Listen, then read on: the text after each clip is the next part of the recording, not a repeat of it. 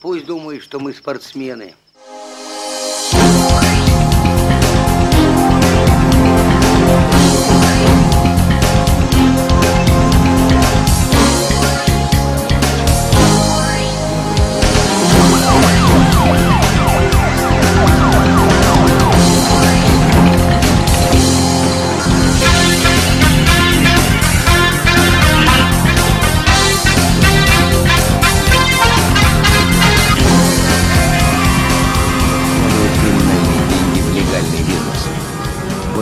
Баула переходят многие приморские коммерсанты, а его охрана состоит из нескольких сотен боевиков-спортсменов.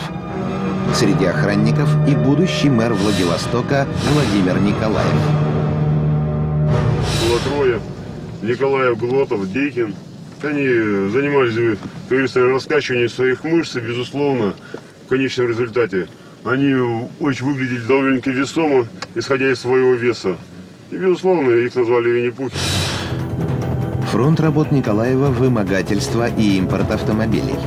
За жестокость Володю даже в преступной среде быстро стали считать беспредельщиком. что я даже в, в страшном сне даже не мог представить, что это все имеет отношение, может иметь какое-то отношение ко мне. Владимир Викторович Николаев, 1973 года рождения, рост 180-190 сантиметров, особых примет нет, статус лидер формирования, клички Винни-Пух, Вова Колбасник, Анаболитик, Анаболик, Колбасник, Пух.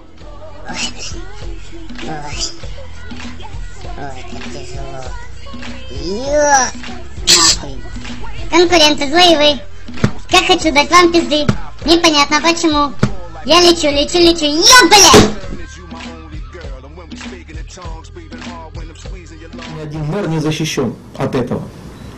И э, хотел бы, чтобы деньги, вот в данном случае, сыграли обратную реакцию. Чтобы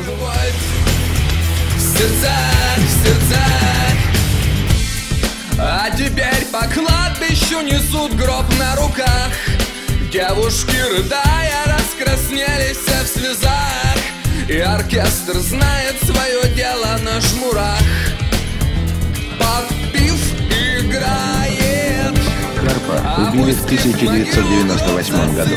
Чуть позже на его вдове женился нынешний губернатор Приморья Сергей Дарькин. По странному стечению обстоятельств, именно Дарькин был распорядителем на похоронах и Сергея Баула. Владимир Путин дает указания о декриминализации Дальнего Востока. Это самое главное для всех уровней власти и управления. Но мало кто знает, что на восточных границах нашей страны с организованной преступностью практически покончено.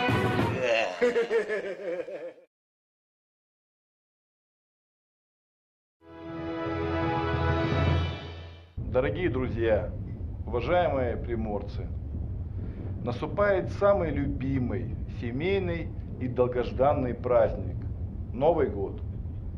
Сейчас каждый подводит итоги года для себя, своей семьи